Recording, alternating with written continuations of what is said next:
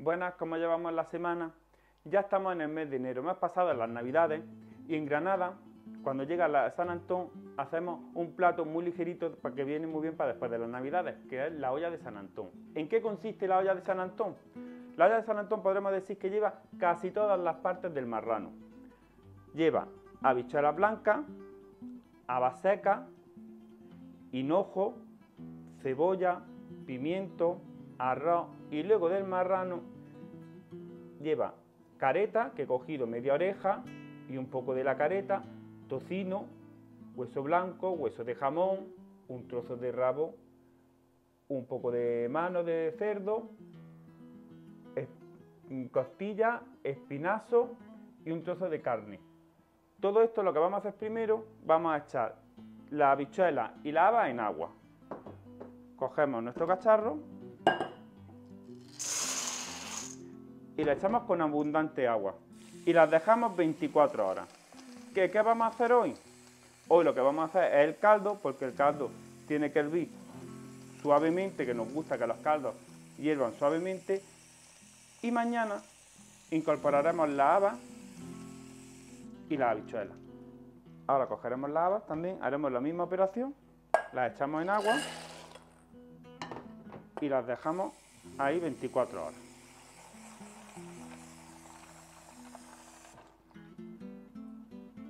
Ahora lo que hacemos es que cogemos nuestra olla y cogemos todos los ingredientes del marrano y los metemos en nuestra olla.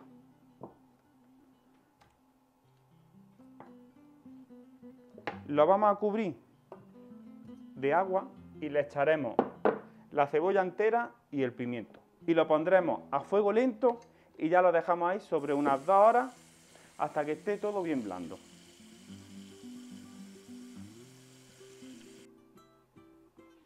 Ahora le vamos a quitar la semilla al pimiento. Le quitamos la semilla, lo vamos a lavar un poco y se lo incorporamos a nuestro caldo. Y la cebolla lo mismo. Pero en vez de echársela entera le vamos a echar media cebolla. Partimos la cebolla, la limpiamos y se la echamos así. El hinojo se le echa al final, ¿vale? Eso ya lo explicaré mañana.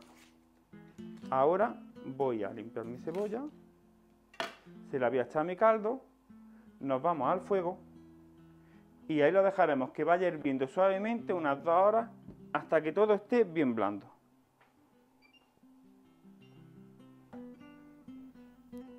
Bueno, pues ya tenemos el caldo que lo hicimos ayer y lo tenemos temperando para que podamos sacar la pringa.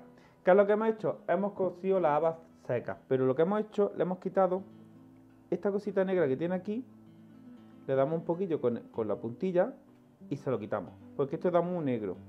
Hay gente que lo cuece con la habichuela.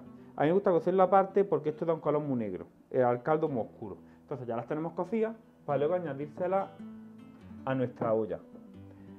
Vamos a coger el caldo, le vamos a sacar la pringa y le vamos a añadir la habichuela y lo pondremos a hervir suavemente. Han estado unas dos horas aproximadamente el caldo. Entonces vamos a ponerlo aquí le vamos a sacar toda la prisa, ahora veréis que bien huele. Le vamos a sacar toda la pringa, la vamos a poner aparte y le incorporaremos la haba y un poco de hinojo. Y mientras que se está haciendo el caldo, coceremos también el arroz, que el arroz también lo coceremos aparte. Hay muchos sitios que están en Granada donde están haciendo el menú de la olla y lo que hacen, que hace un menú completo. Ponen un primero, el remojón, luego le ponen la olla con su pringá, con unos encurtidos en vinagre y luego terminan con un postre. Que algunos ponen arroz con leche, leche frita y hasta torrijas ponen en algunos sitios. Es un menú muy habitual en estas fechas en casi todos los restaurantes de Granada. Entonces vamos a sacar toda la pringa. Pues como hemos hecho antes, ya hemos sacado la pringá, lo hemos puesto al fuego y le vamos a echar la alubia. Y en cuanto empiece a hervir, lo bajamos a fuego medio y que se vayan haciendo suavemente, que será una hora y media más o menos.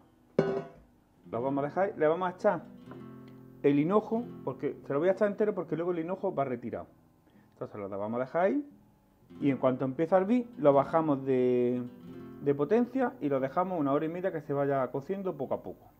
Y mientras tanto iremos cociendo el arroz. Ya empezó a hervir, lo vamos a bajar a temperatura media y lo vamos a desespumar. ¿Qué significa desespumar? Vamos a ir con un cazo, una cuchara, poquito a poco, quitándole la espuma de encima. Y esto se llama desespumar. Le quitamos toda la espuma, lo tapamos y ya lo dejamos hirviendo una hora y media aproximadamente. Lo vamos mirando poco a poco. Y cuando estén tiernas, seguimos con la receta.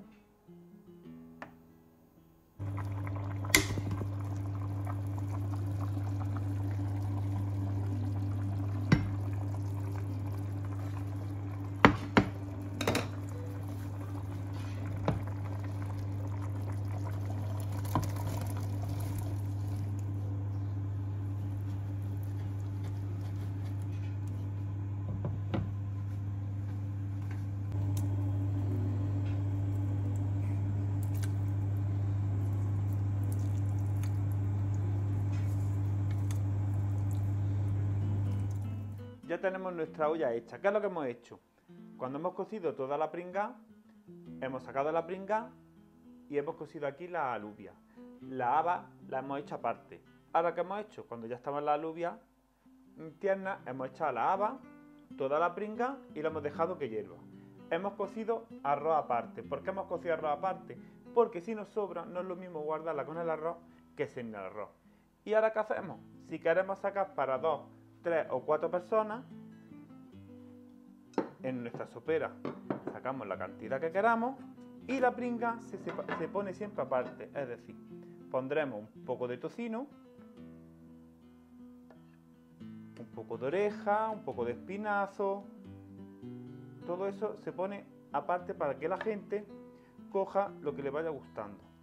El trozo de tocino, un poco de rabo,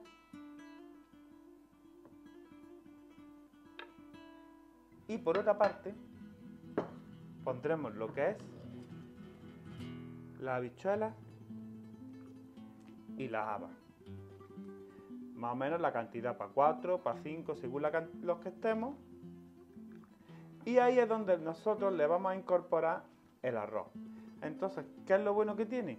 Que si nos sobra, no está el arroz mezclado y así nunca se nos va a pasar. Y es más fácil calentarlo y guardarlo. Entonces ya tendríamos aquí nuestra olla, nuestra pringá y, como no, con nuestro encurtido en vinagre. Lo que sí, ahora que me he acordado, le podemos echar arroz. Ya el arroz se le echamos la cantidad que nos, que nos guste. Yo le voy a echar para esta cantidad unas 3 cucharadas. Y si os dais cuenta, ya se quedaría y esto sería nuestra olla de San Antón.